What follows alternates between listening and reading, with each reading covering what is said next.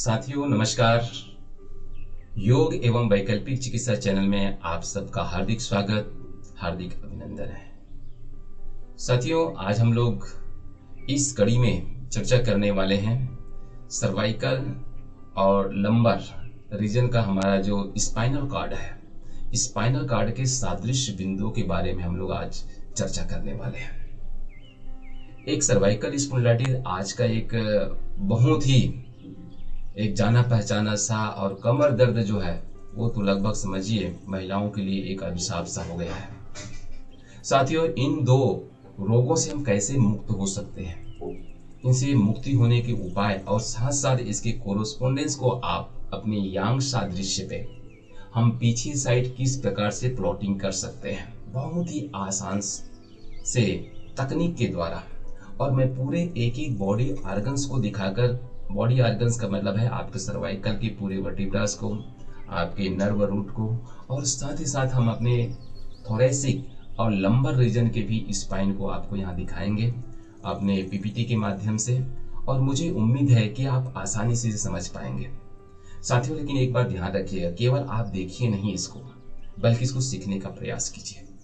जब हम आपको सिखाने के लिए बड़े मन से आपको सिखा रहे हैं तो निश्चित तौर से आप इसे सीखिए आप। और आप सीखिए और लोगों को भी सिखाइए। आप इसे देखिए और दूसरे को भी देखने के लिए प्रेरित करें, ताकि अधिक से अधिक व्यक्ति इससे लाभान्वित हो सके, इसका लाभ ले सके और जन जन का एक पैथी बन सके। तो हम लोग देखेंगे एक्यूप्रेशर सुजोग चिकित्सा की इस अगली कड़ी में, अर्थात नाइन नंबर की कड़ी जो हमारी है, ये कड़ी महत्वपूर्ण है इससे हम अपने सर्वाइकल और कमर दर्द को छुमंतर कर सकते हैं।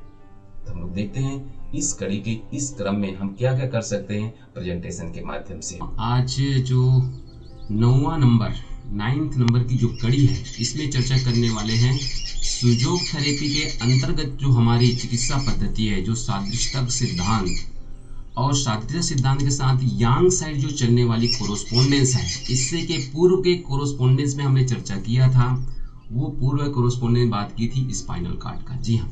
सर्वाइकल और spine lumbar spine thoracic spine इसके बारे में चर्चा किया था। आज हम लोग चर्चा करने वाले हैं महत्वपूर्ण बॉडी ऑर्गन्स जिसमें हमारे जीवन का एसेंस जिसे लाइफ एसेंस कहते हैं, जीवन का सार तत्व जहाँ नीत होता है। आप सोच रहेंगे है क्या वो?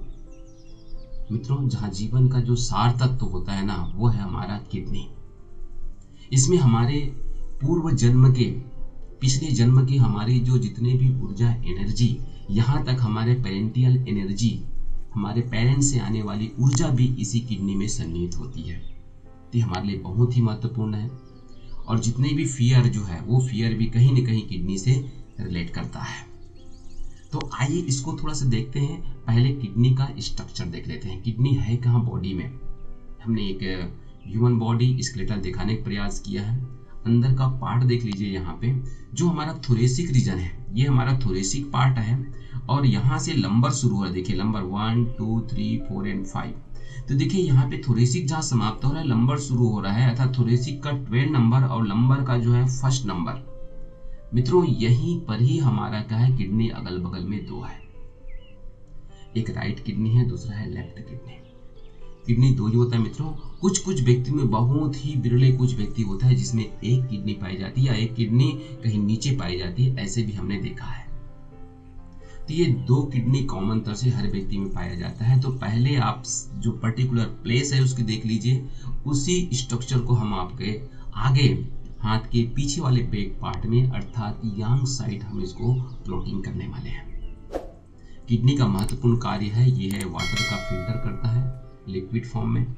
अगर किसी प्रकार के कोई भी अगर यूरिया, यूरिक एसिड जो भी होता है फॉर्मेशन होता है, अगर अतिरिक्त तो बॉडी के लिए आवश्यक नहीं है, उसे क्या करता है? इस शरीर से छान करके बाहर निकाल देता है। अब इसको हम लोग देखते हैं अपने हाथ की हथेली में। हाथ की हथेली की बैक साइड जिसे यांग पार्ट कहते हैं, जैसे कि हमने इससे पूर्व की कड़ी में आपको ये सर्वाइकल का और थोरेसिक और लंबर का पार्ट दिखाया था। साथियों, ये देखिए, आपका ये सर्वाइकल है, ये थोरेसिक का ये आठ और ये चार था। इसके बाद हमने बीच में एक बड़ी लंबी वाली एक कट ब्लैक कलर का पॉइंट लगाया था। ये यहाँ देने का मतलब यही है कि ये ट्वेल्व नंबर थोरेसिक का है और फ़र्स्ट नंबर ये का है आपका? ये फ़र्स्ट नंबर जो हमारे लंबर का है। इसका मतलब कहीं ना कहीं हमारा यहाँ पे, इस वाले पार्ट पे जो अगल बगल दो है, यहाँ पे किडनी होनी चाहिए। अच्छा किडनी यहाँ पे बनाए तो इसके और एक पैमाना है। उसको बड़े ध्यान से समझने का प्रयास कीजिएगा। क्या हो सकता है? ये आप इसमें देख लीजिएगा। जो इंडेक्स फिंगर है और मिडिल फिंगर है। ये इंडेक्स मतलब तर्जीनी उंगली और ये मध्यमा उंगली के बीच, दोनों उंगलियों के बीच ये दो हड्डी, इधर एक हड्डी है, एक इधर है। इसके बीच में ये आपका चैनल है। इस चैनल को दबाते दबाते दबाते साथियों सीधा चलिए, जहाँ समाप्त हो जाए चैनल। एक किडनी का स्थान वहाँ पे जो गोल सा ज़ीरो बना दीजिए आप वहाँ पे। वैसे सेम ही ध्यान सुनिएगा स्मॉल फिंगर और रिंग फिंगर छोटी उंगली और आपके अनामिका उंगली के मध्य में भी दो हड्डियों के बीच में एक चैनल है, गड्ढा वाला भाग है, इसको दबाते दबाते ऊपर जाइए। देखिए, ये एचडी देखिए, यहाँ पे जो है कार्पस है और मेटा कार्पस है। इसको मैं और अच्छी तरह से दिखाऊँगा पूरे पूरे इसके लेटर सिस्टम को। तो निश्चित तौर से किडनी हमारी यहाँ होनी चाहिए, क्योंकि हमने कहा था कि थोरेसिक का ट्वेल्व नंबर और लंबर का फ़र्स्ट नंबर यहीं पे किडनी होनी चाहिए। तो ये लास्ट पार्ट पे क्या है, हम लोग यहाँ पे किडनी को प्रतिस्थापित कर सकते हैं। जी हाँ देखिए आप, बहुत ही शानदार तरीके से हमने यहाँ दिखाने का प्रयास किया है। और इधर जो ह्यूमन बॉडी का एक स्ट्रक्चर दिखाया, देखिए यहाँ पे टी ट्वेल्व और टी वन है यहाँ पे। जी हाँ। इसी के बगल में दो किडनी यहाँ पे, कुछ पीछे बैक साइड के रिप्स में अंदर है, कुछ बाहर है तो ये हमारे बैक पार्ट है। और उसी को हमने यहाँ पे प्रतिस्थापित करने का प्रयास किया है। क्योंकि यूरेथ्रा हमारे इन साइड पाया जाता है, इसलिए ये यहाँ से अंदर की तरफ़ चला जाएगा। यूरेथ्रा जो मतलब इसकी जो ये यूरिन का जो ट्रैक है यूरिन का जहाँ पानी फ़िल्टर होता है वाटर फ़िल्टर होकर पेशाब के लिए यूरेथ्रा में जाता है, वो आगे हम दिखाते हैं इसमें किडनी के ऊपर मित्रों, ये दो ग्लैंड्स है जिसका नाम है एड्रेनल ग्लैंड्स है, महत्वपूर्ण ग्लैंड्स है। जब ग्लैंड्स के बारे में चर्चा करूँगा तो ज़रूर इसके बारे में आपको मैं बताने का प्रयास करूँगा। सबसे फ़र्स्ट आप दो किडनी को किडनी को अपने हाथ में आप क्या करिए प्रतिस्थापित कीजिए। यदि आप देख रहे हैं तो बनाइए ना। आप डायग्राम बनाइए, पेन उठाइए और अपने हाथ में जरा दबा कर देखिए सही। प्रयास तो कीजिए। और प्रयास करेंगे तो निश्चित तौर से आपको सफलता मिलेगी। अच्छा थोड़ा सी इसको गहराई से और देखते हैं हम लोग। यहाँ देखिए। क्या है इसमें? देखिए, मैंने स्केलेटल दिखाया है।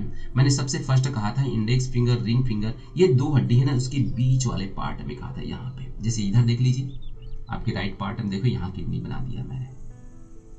ये आपका कार्पस है और ये मेटा कार्पस है छोटी छोटी हड्डियाँ हैं।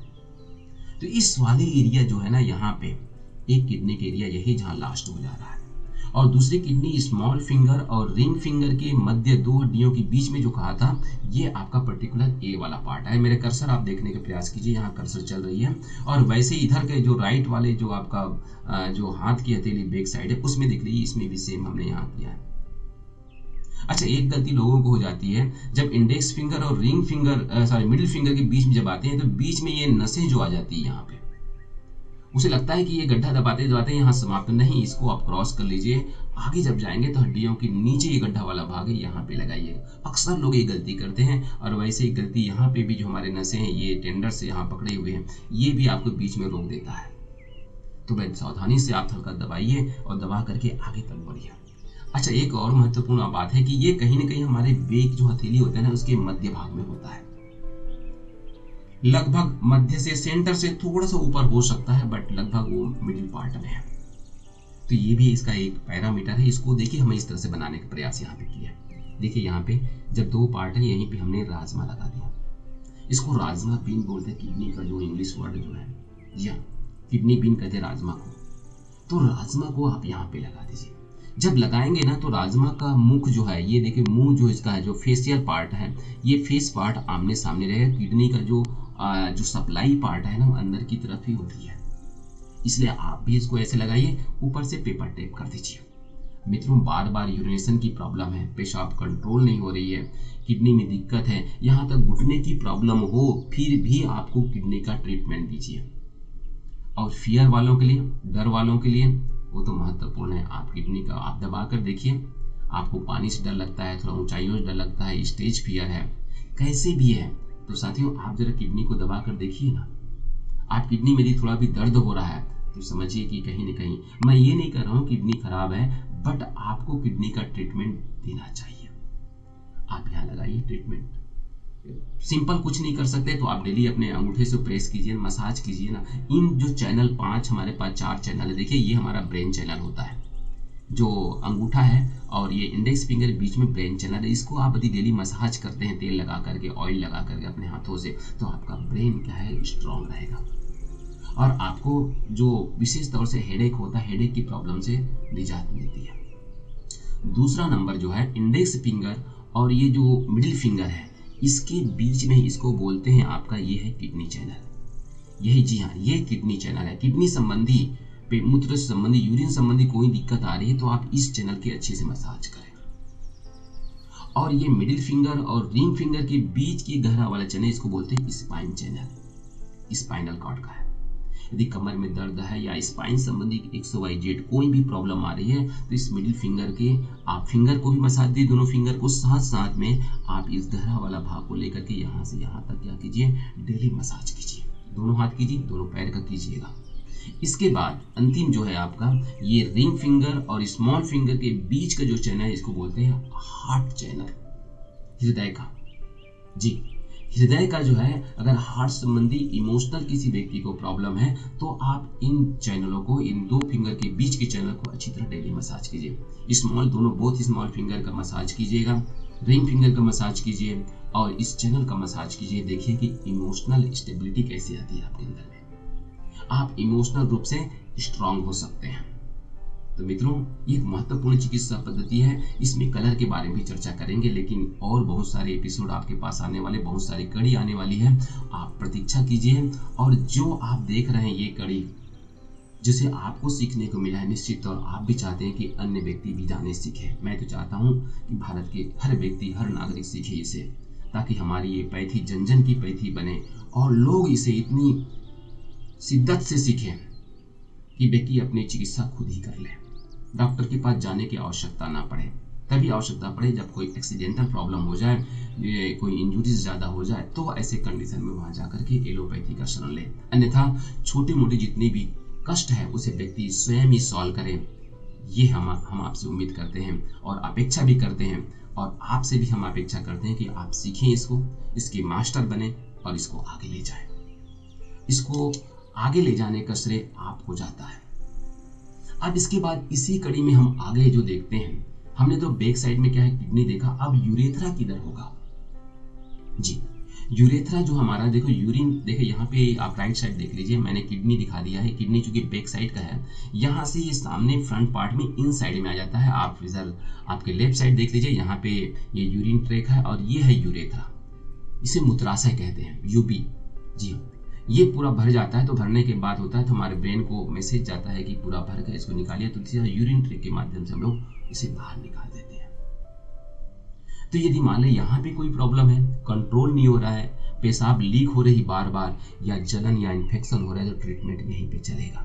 ये यूरिन ट्रैक है यूरिन का मार्ग है, रास्ता है। अगर यहाँ पे कोई प्रॉब्लम है ये वाल्व में कोई दिक्कत होती है तो भी यहाँ पे भी आप क्या कर सकते हैं, यहाँ पे आप ट्रीटमेंट दे सकते हैं। यदि बार बार यूरिन हो रहा है, पेशाब हो रहा है, गर्मी लग रही है तो यहाँ पे ब्लैक कलर भी लगा सकते हैं। ब्लैक या ब्लू कलर लगा दीजिए। जलन हो रही है तो। अगर ठंडी की वजह से बार बार यूरिन होता है तो यहाँ पे रेड कलर लगेगा। इसका ध्यान रखिएगा। कलर थेरेपी के बारे में और भी चर्चा करूँगा। बाद में मैं और यदि कंट्रोल नहीं हो रहा है अच्छा मित्रों, एक महत्वपूर्ण बात आपको बता ही देता हूँ। अगर किसी को बेड वेटिंग की प्रॉब्लम है, अगर छोटा बच्चा बिस्तर में पेशाब करे तो समझ में आता है लेकिन कोई अगर आठ साल, दस साल, पंद्रह साल या बीस, पच्चीस साल का बच्चा यदि बिस्तर पे पेशाब करे तो दिक्कत है ना?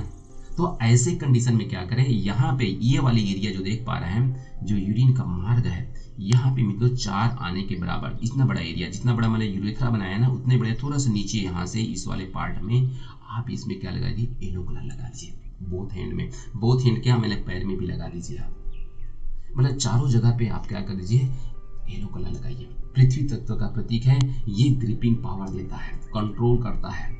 और साथ साथ किडनी पे राजमा लगा दीजिए, ताकि किसी प्रकार फियर या भय होता है, स्वप्न आती है तो ही व्यक्ति को क्या है यूरिन पास हो जाता है। तो ये दो काम कीजिए, देखिएगा बेड फिटिंग से कैसे आपको छुटकारा मिलती है। अगर नहीं मिले तो आप हमसे संपर्क कीजिएगा, निश्चित तौर से आपको इसका छुटकारा मिल जाएगी। तो ये तो है यूरिन ट्रैक का। मित्रों, इसके बाद एक और महत्वपूर्ण बात है, यदि मान ले ओवरी और यूट्रस की बात करते हैं, ये कहाँ पे होगा? हमारे यूरिन ट्रैक चाहे मेल हो या फीमेल हो, देखिए मैंने दो हाथ के बीच में एक ट्रैक बनाए हैं, ये फीमेल का है। फीमेल का ये आपका यूरेथ्रा वाला पार्ट है, ये यूरिन ट्रैक मार्ग है, यहाँ पे पेशाब जो बाहर निकलता है विजेनल पार्ट है, और ये आपका ओवरीज है, यहाँ पे ओवरी दो बोथ साइड में देख पा रहे हैं आप फ्लोपिन टिप्स टिप्स के माध्यम से यहाँ से जाती है। और ये हमारा जो गर्भाशय जिसे हम लोग कहते हैं। तो ये कहाँ पे होगा? तो निश्चित साथियों, ये हमारा इसी जहाँ पे हमने यूपी का पार्ट दिखाया है आपको। कहाँ का पार्ट दिखाया है ये? यूबी का जहाँ पार्ट दिखाया है, जहाँ पे यूरिन ट्रैक है देखो यहाँ पे लगभग हमने छोटा सा बनाने का प्रयास भी किया है तो ये पार्ट यहीं पे स्थापित होता है। यदि किसी को यूट्रस यूट्रस थोड़ा सा ये, थोड़ा सा ऊपर पार्ट में यहाँ पे आ जाएगा। ये जो आपका जो दो ओवरीज है, ये ओवरी आपका यहीं अगल बगल साइड में यहाँ पाया जाएगा। यदि किसी को प्रॉब्लम है, यहाँ पे फाइव स्टार लगाइए, यहाँ पे प्रेशर दीजिए मसाज कीजिए डेली तो निश्चित तौर से आपको इससे होने वाली प्रॉब्लम से आप निजात मिल सकती है। और अगर ये फीमेल का है मेल है तो मेल में यदि प्रोस्टेट की प्रॉब्लम देखो, ये प्रोस्टेट यहाँ पे दिखाया गया है अगल बगल में। ये प्रोस्टेट यदि प्रोस्टेट की प्रॉब्लम है तो यहाँ दो इस बगल वाले पार्ट में भी यूरिन ट्रैक के बगल वाले पार्ट का भी मसाज दे सकते हैं। यहाँ दबाव दे सकते हैं फाइव स्टार मैग्नेट लगा सकते हैं और कलर लगा सकते हैं। इसके और विस्तृत जानकारी चिकित्सा संबंधी क्यों होता है, किस लिए होता है, इसका हम अलग से कड़ी में चर्चा करेंगे। मुझे उम्मीद है साथियों, आपको हमारी ये बातें अच्छी लगी होगी। और ये सिखाने की तरीका और सीखने का तरीका आपको भी अच्छा लगेगा। आप सीखेंगे। और सीखना तो पड़ेगा ही, क्योंकि ये इक्कीसवीं सदी की चिकित्सा पद्धति है। सभी को सीखना है, सभी को सिखाना है जन जन का लाभ लेना है। क्योंकि आयुर्वेद जीवन सरदा सतम की बात कही, सौ साल जीने की बात कही है। स्वस्थ शरीर, स्वच्छ मन और सभ्य समाज, इसकी परिकल्पना को हमें साकार करना है। तो आप इस वीडियो को आप देख रहे हैं। उम्मीद है अच्छी लग रही होगी आपको या अच्छी लगी होगी आपको। तो आप इसको निश्चित तौर से आगे बढ़ाएँ, अपने इष्ट मित्रों के साथ इसे शेयर करें और सभी को उज्जवल भविष्य की कामना करते हुए हम अपनी बात को यही विराम देते हैं। नमस्कार। जय हिंद।